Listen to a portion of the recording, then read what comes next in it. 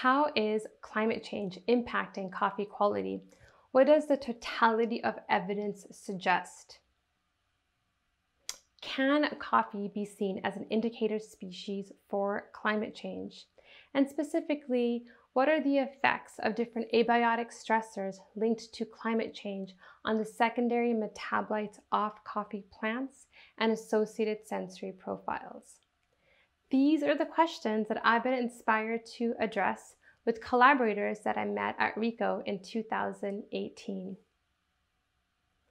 And this followed a talk that I gave at that Re:co conference with regards to my long term research in Yunnan province of China, looking at the effects of climate change on tea quality, tea from the Camellia sinensis plant. I shared about my long term research in different types of tea management systems along a continuum of agricultural intensification from wild tea populations to tea agroforest to mixed tea systems to monocultures. I also shared about my research with tea farmers that ultimately led me to understand how tea farms were vulnerable to climate change. Farmers shared how increased precipitation, variation in precipitation, and increased temperatures were impacting tea quality and ultimately their livelihoods. And so this led to my long term research, and I shared data during that 2018 Re:co presentation on how various secondary metabolites that determine tea quality were vulnerable to environmental factors linked to climate change. I further shared how different management factors ways of managing tea production systems could mitigate the impacts of climate change on tea quality. Specifically, I showed how tea agroforest could mitigate the effects of increased precipitation on tea quality compared to monoculture systems. And following that 2018 talk at Re:co, I met with many of you during the cocktail hour that followed, and you shared your observations in coffee systems. Some of you shared how increased rain in coffee systems is resulting in decreased coffee quality. Others shared how you observed increased temperatures in coffee farms and how this is resulting in shifts in flavor, including reduced levels of sweetness and increased astringency Others just overall noted how the flavor profile of coffee has changed during your lifetime or during your work in the coffee sector. And others shared how there may be a need to move to higher altitudes um, where there's cooler environmental conditions that can support coffee production. And so my dialogues with all of you very much inspired me to want to understand what is known in the scientific literature regarding how climate change is impacting coffee quality. And sure enough, going on the internet, I found multiple articles as well as news stories highlighting how coffee plants are vulnerable to climate change.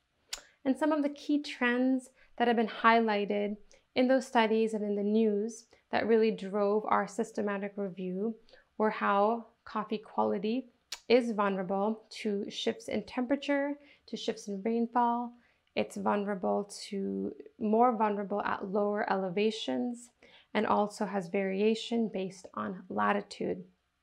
And overall, how the area suitable for high quality coffee is being reduced. And so I got together with several of you that I met at that Re:co conference to conduct a systematic literature review to examine the totality of evidence regarding environmental factors and management factors associated with climate change and climate adaptation on coffee quality based on shifts in secondary metabolite profiles as well as shifts in sensory profiles. Personally, I'm very excited in secondary metabolite profiles as these are compounds that plants produce to defend themselves to various environmental factors, to various abiotic stressors. Unlike animals that can run away when they're presented with different stressors, plants are rooted in place and they've developed this really complex secondary metabolite system to defend themselves. And these secondary metabolites that plants are upregulating in response to stress are what we get to enjoy in our delicious cup of coffee. These are the wonderful aromatic volatile compounds, the energizing methylxanthine compounds, the antioxidant polyphenolic compounds. So, all of these compounds that we enjoy and that ultimately determine high quality coffee are very much linked and vulnerable to shifts in the environment as secondary metabolites, as defense compounds. And while the large body of scientific evidence on climate change has focused on yields, just a very small amount of the evidence focuses on quality. And when we're talking about a crop such as coffee, we all know that quality is really what determines is influencing consumer preferences and ultimately the sustainability of the market. We took a systematic literature review to look at the totality of evidence. While individual case studies that are conducted on specific farms or in specific countries are very informative, we can really begin to see trends when we begin to compare multiple case studies, as well as when we begin to include controlled manipulative scientific experiments that really isolate specific environmental factors. And so for our systematic review, we wanted to really look at the totality of evidence so we can begin to see trends of what is known and what needs to be known, really understanding what the future research questions should be. And the systematic review process was very much born in the clinical sciences, where it's important to have strong evidence in order to make claims. And so we looked at a series of systematic search terms that we input into five different databases, and ultimately we had about 1,500 articles that we reviewed very systematically and ultimately came up with 73 articles that addressed our study question. I'm very excited to share the findings of this systematic review. We've been working on it for the past three years. This is unpublished data. We just submitted the manuscript, so very excited to share these findings with you. First, I wanted to share a limitation that we encountered during our systematic review process. And this has to do with limitations with regards to being able to compare between studies. So many different studies took their own approach in how they measured coffee quality, whether it was the way they measured sensory profiles or whether it was based on different secondary metabolite profiles or primary metabolite profiles, including sugars and fatty acids. And because of this variation in the way different studies approached coffee quality, in the way they measured it, we actually weren't able to make quantitative assessments across studies. Rather, we were able to just make trends of increase and decrease rather than the quantity. And so this provides a really nice area in thinking about future work, that there's a need for standardized measures on multiple dimensions of what constitutes coffee quality and how these should be measured so we can have comparisons between case studies, between locations, as well as temporally over time. So where is the most compelling evidence that we found? The most compelling evidence was found with regards to altitude. Specifically, increased altitude was found to increase in sensory attributes related to coffee quality. We looked at 18 different articles, or 18 different articles were found in the systematic review, and the majority of them that looked at sensory attributes, over 65%, found an increase in sensory attributes.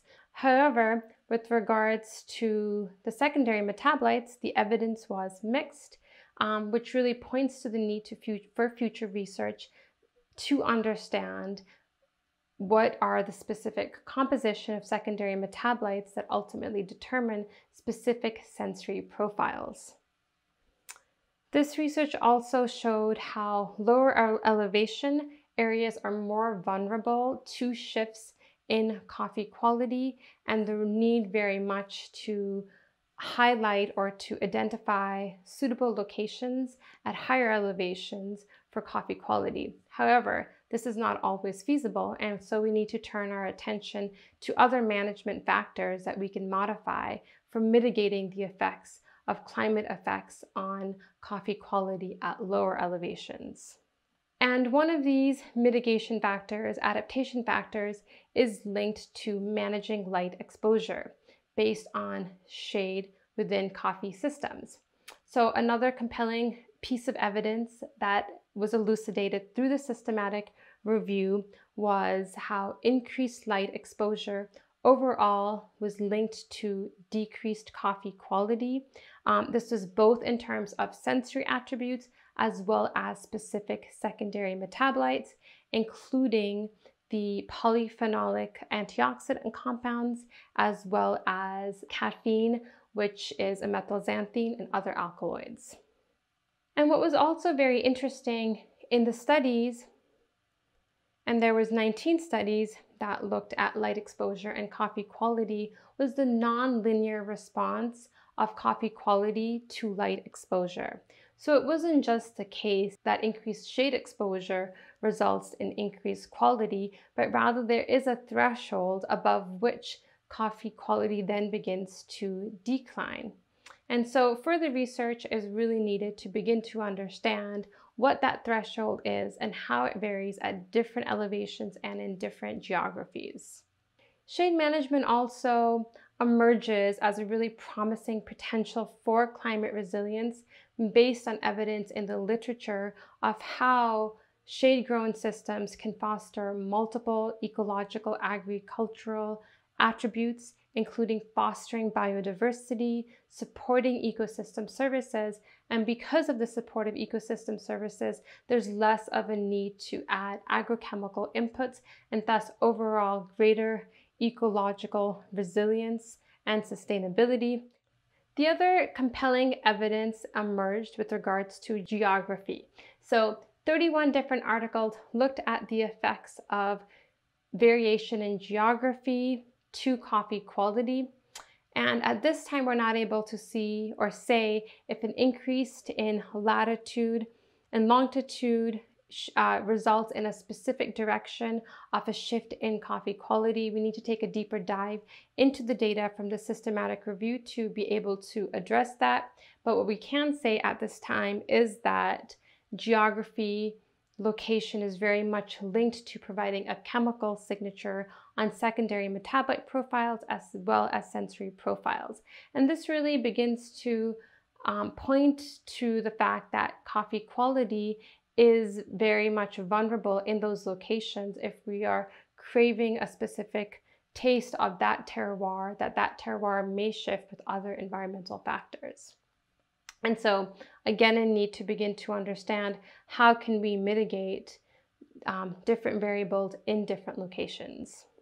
And then with regards to other factors, including temperature, increased temperature was found to impact coffee quality. However, the evidence is very mixed in regards to directionality.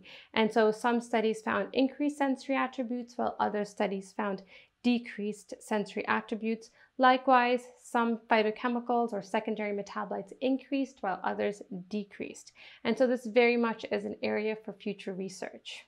Similarly, with water stress, some studies found an increase in coffee quality with regards to sensory attributes with increased water stress, um, also an increase in specific phytochemicals, but overall, the evidence was mixed. There were more studies that showed increased sensory attributes and increased specific secondary metabolites with increased water stress. However, because the evidence was mixed, it's really hard to make strong claims about the effects of water stress on coffee quality. And this is again another area for future research. Also to identify what are those thresholds beyond which coffee quality no longer improves with increased water stress. And with regards to nutrient management, likewise, nutrient management is plays a very important role in managing or mitigating or influencing coffee quality. However, no clear trends were found in our systematic review. Again, another area for future research. And likewise, type of cultivar, the influence of pest and disease, the practice of fruit thinning, and increased carbon dioxide um, that impact coffee systems also all showed shifts in coffee quality. However, we're not able to make strong claims about the directionality of these changes in coffee quality. And a lot of this has to do with how there is a lack of standardization in what constitutes or how different studies measure coffee quality. So again, another area for future research. Another thing I wanted to highlight with regards to these different studies is that the shifts in coffee quality um, are, we looked at the directionality, but in some cases where we had quantitative information, we also looked at the percentage of shift in amount. And in some cases, there was a shift in coffee quality in response to these different environmental and management factors over 50%. And so now I wanted to turn my attention to what is not known. What did this inter- what did the systematic review tell us with regards to critical research areas that need to be examined going forward to support the sustainability and resilience of the coffee sector? We looked at these different factors, these different environmental and management factors individually, but in the real world, all of these factors are related. They are interacting with each other, as you know. And thus, it's really critical to begin to understand how these different factors interact with each other. In a field setting and case studies, this really presents confounding influence, and thus, there is a need for more research that's done in very controlled, manipulative environments to understand how different variables are interacting with each other. So, in conclusion, based on the findings of this systematic review, we can say that coffee quality is vulnerable to shifts in environmental factors linked to climate change and is also sensitive to shifts in management factors linked to climate adaptation.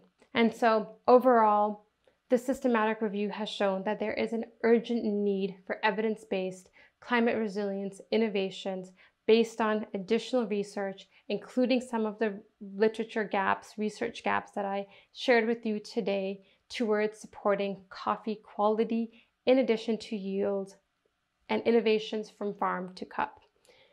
From the studies that we reviewed, some of those promising innovations include diversification, shade management, tapping into wild coffee germplasm, climate selection of climate resilient cultivars, soil nutrient management, looking to see if there is possible relocation to higher elevations. Or, of course, this is not feasible in many cases, a lot of barriers for that. And then what are innovations in processing and in brewing that can actually serve to mitigate some of the impacts that the environment is having on secondary metabolites. And when we're thinking about really managing for coffee quality, not only do we want to adapt to what's happening with climate change, we want to actively mitigate climate change itself through enhanced sustainability practices.